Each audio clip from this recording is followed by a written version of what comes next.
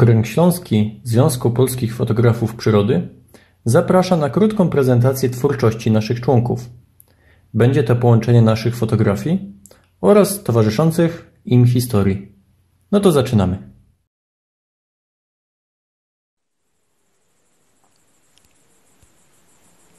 Ostatnie zdjęcie.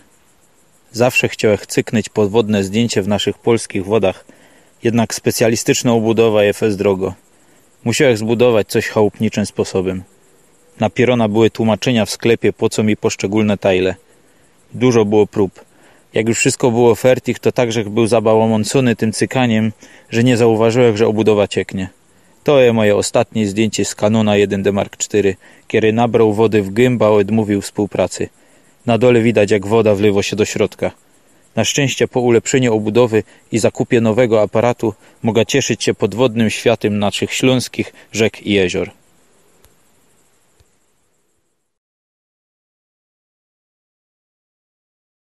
Styczniowy spacer brzegiem zbiornika Kuźnica Warężyńska w dorzeczu Czarnej Przemszy. Jest on jednym z czterech zbiorników wodnych utworzonych po wydobywanym piasku dla okolicznych kopalń. Dziś część z nich, ze względu na wyjątkowe walory przyrodnicze, uzyskała status krajobrazu chronionego.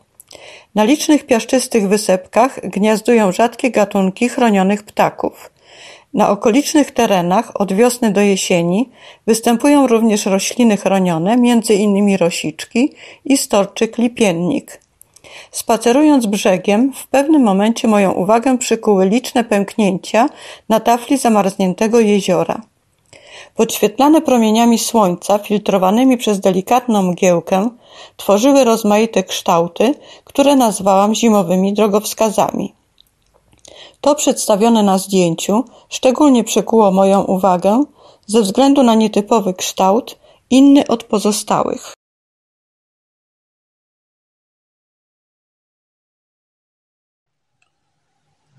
Być może jesteście Państwo zaskoczeni. O co chodzi?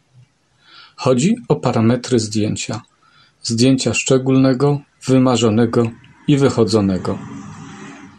Z moich zapisków wynika, że te parametry to 30-sekundowe naświetlanie przy maksymalnie przymkniętej przysłonie.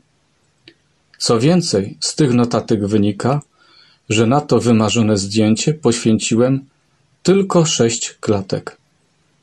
Myślę, że ci, którzy fotografowali na błonach światłoczułych, wiedzą, dlaczego tylko sześć klatek i dlaczego mam odręczne notatki. A ta wymarzona scena to fragment potoku Biała Wisełka w Beskidzie Śląskim, uwieczniona na materiale Welwia 50.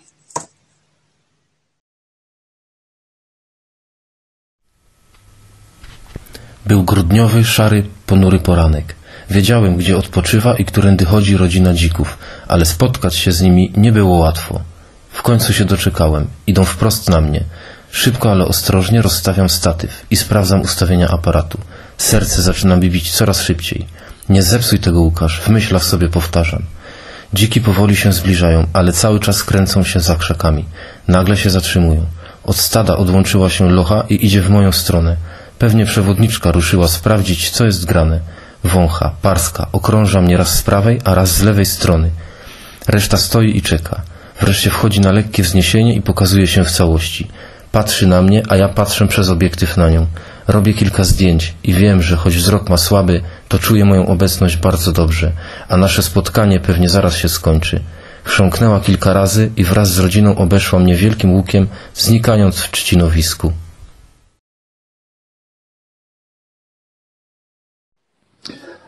To jest podwodne zdjęcie zrobione w jednej z rzek na terenie Wigierskiego Parku Narodowego.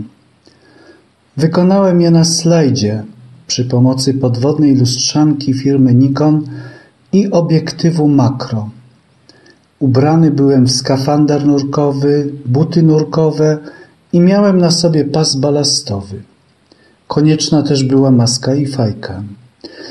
Fotografowałem w płytkiej wodzie, w pozycji leżącej, w słoneczny dzień, bo tylko takie warunki wchodzą w grę, gdy ma się do dyspozycji slajd o maksymalnej czułości stu asa. Fotografia podwodna to trudna dyscyplina, a fotografowanie w rzekach to spore wyzwanie ze względu na czasami bardzo bystry nurt, nie mówiąc o zdjęciach makro robionych z ręki. Na zdjęciu widoczne są wodorosty o pięknej czerwonej barwie, zwane krasnorostami. Można je zobaczyć w tej rzece na kamieniach i muszlach. Na pierwszym planie i w środkowej części kadru widoczne są skójki, małże z otwartym syfonem i elementem, który wyglądem przypomina szczęki.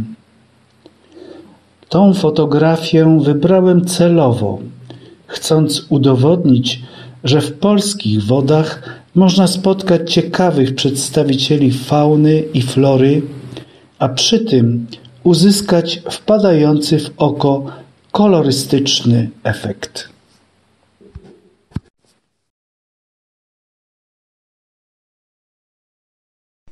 To miał być doskonały poranek. Rozeznanie w terenie zwiastowało bliskie spotkania z kaczkami, które tej wiosny wyjątkowo obficie i w dużej różnorodności przebywały na moich stawach. Budzik o trzeciej trzydzieści rozbrzmiał. Szybko puściłem ciepłą kołdrę i w ciszy, żeby nie obudzić domowników, ubrałem ciepłe ubrania. Kilka warstw, bo zapowiadał się bardzo zimny poranek. Po dwudziestu minutach stałem już z pływadełkiem gotowy do krótkiego marszu na miejsce wodowania mojego wehikułu. Gdy wszedłem do wody, czułem, że jednak ubrałem się zbyt ciepło. Pot spływał po czole. Gdy dopłynąłem na miejsce, tradycyjnie pierwszy rzut oka przez wizjer, a tu komunikat. Brak kart pamięci. Większej porażki fotograf nie może ponieść, jak nieodpowiednie przygotowanie sprzętu. Kart zapasowych również nie wziąłem. Nazajutrz jednak nie popełniłem kolejny raz tego samego błędu.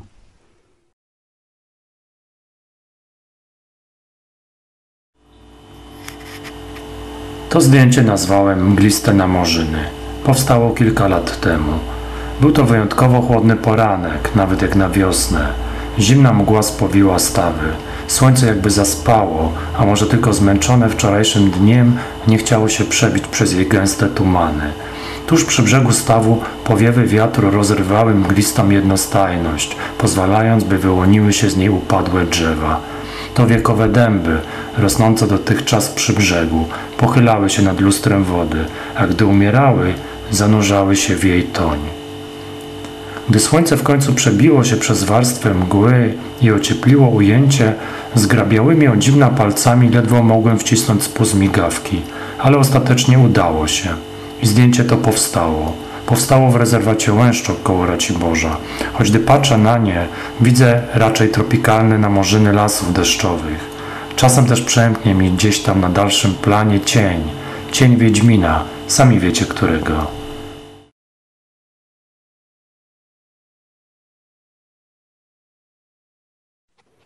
Cześć, nazywam się Marcin Bula i w ZPFP jestem od 2015 roku. Chociaż skupiam się głównie na fotografowaniu lokalnego krajobrazu, to zdjęcie wykonałem na jednym z bieszczadzkich szczytów drodze na Halicz. W Bieszczadach byłem po raz pierwszy przy okazji jesiennego pleneru ZPFP i właśnie wtedy udało mi się uchwycić ten wyjątkowy wschód słońca. Widok tak pięknych gór i wschodzące słońce przebijające się przez mgłę na zawsze pozostanie w mojej głowie.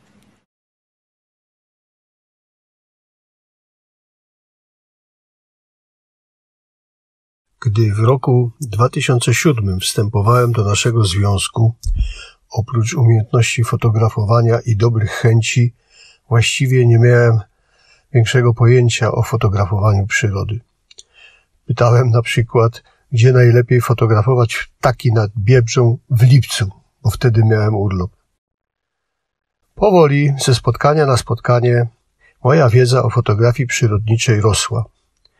Było to możliwe dzięki koleżankom i kolegom, którzy chętnie opowiadali o swoich doświadczeniach i umiejętnościach. To właśnie spotkania i wspólne plenery były okazją do podnoszenia swoich własnych kwalifikacji. Potencjał spotkań jest nieograniczony, a korzystanie z niego jest właściwie sztuką. Z okazji jubileuszu życzę wszystkim koleżankom i kolegom udanych plenerów i spotkań. Kto nie ceni spotkań, niewiele się uczy.